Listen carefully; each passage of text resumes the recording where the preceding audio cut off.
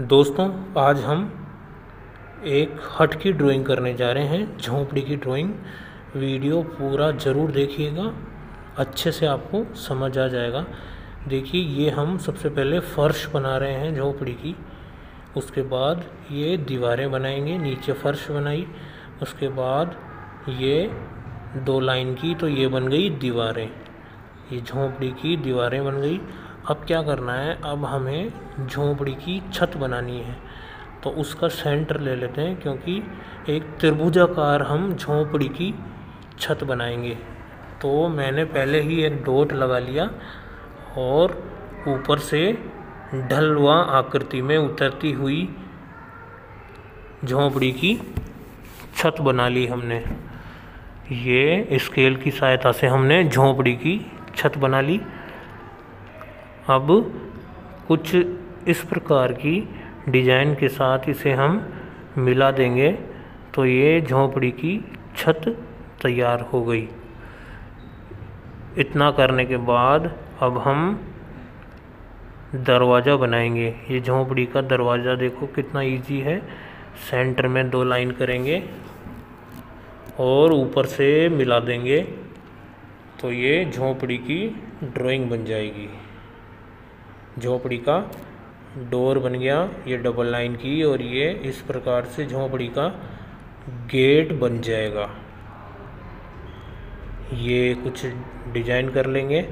यहाँ पे वेंटिलेशन होता है एक ऊपर रोशनदान उसमें से अंदर की गर्मी भी बाहर आती है और रोशनी भी आती है तो वो हमने बना दिया।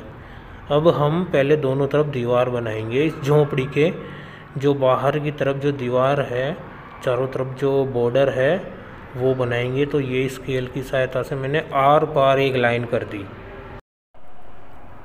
फिर इसके ऊपर एक और लाइन करेंगे तो ये दीवार बन जाएगी। ये पीछे की तरफ़ दीवार है। कई लोग कहेंगे कि ये झोपड़ी में घुसी हुई दीवार बिल्कुल नहीं। ये झोपड़ी के पीछे से एक दीवार है बाउंड्री जारी है। ये हमने किया और अब ये ईंटों की ड्राइंग ऐसे करेंगे। देखो, ईंटों की ड्राइंग में ऊपर वाली एक लाइन आती है, उसके सेंटर से दूसरी ईंटों की लाइन शुरू होती है। ये ध्यान रखना। ये आसानी से इस प्रकार हम ईंट की ड्राइंग कर देंगे। और थोड़ी टेढ़ी मेढ़ी भी होनी चाहिए, जिससे ईंट लगे, ज़्यादा मेज़रमेंट से नहीं हो। तो ये झोंपड़ी बन गई, पीछे की दीवार बन गई। अब जो झोंपड़ी की छत है, उसमें कुछ इस प्रकार के डिज़ाइन दिखेंगे। इस प्रकार के उसमें कॉलम्स रखे हुए हैं, एक के ऊपर एक। तो उसकी डिज़ाइन कुछ इस प्रकार से होगी, देखिए।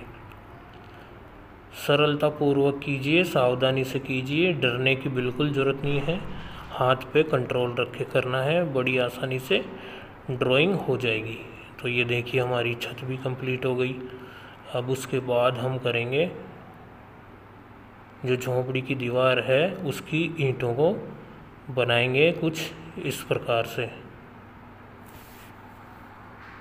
ये हमने झोंपड़ी की ईंटों की ड्राइंग की है कुछ इस प्रकार से। ये देखिए, एक ईंट का सेंटर लेके दूसरी ईंट का कट लेना है हमें। एक ईंट के सेंटर से दूसरी ईंट का कट लेना है। बड़ी आसानी से दीवार बन जाएगी। ये देखो, झोंपड़ी बन गई, झोंपड़ी की छत बन गई और दीवार बन गई। अब इसमें ऐसे शेडिंग कर देते हैं। पेंसिल से चाहो तो आप कलर भी कर सकते हैं। इसकी स्पीड बढ़ा देता हूँ ताकि वीडियो ज़्यादा लंबा ना हो।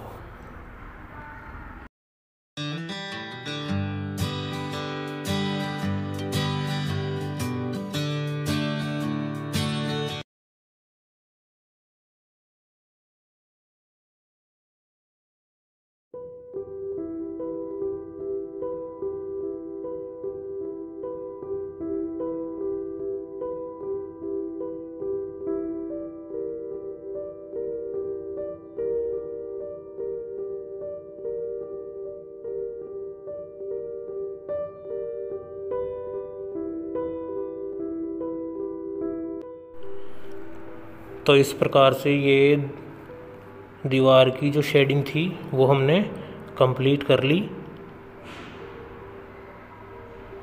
अब हम जो छत की शेडिंग है, उसको करेंगे।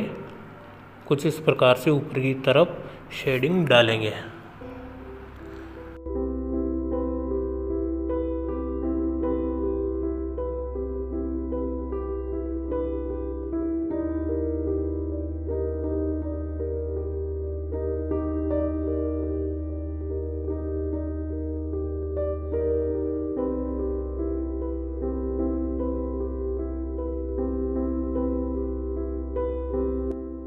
और अब हम बैकग्राउंड में जो दीवार है, उसकी शेडिंग कुछ इस प्रकार से करेंगे। तो इस प्रकार सरलतापूर्वक आप शेडिंग से एक झोंपड़ी की ड्राइंग बना सकते हैं। इसका बैकग्राउंड भी हम ले लेंगे इस प्रकार से।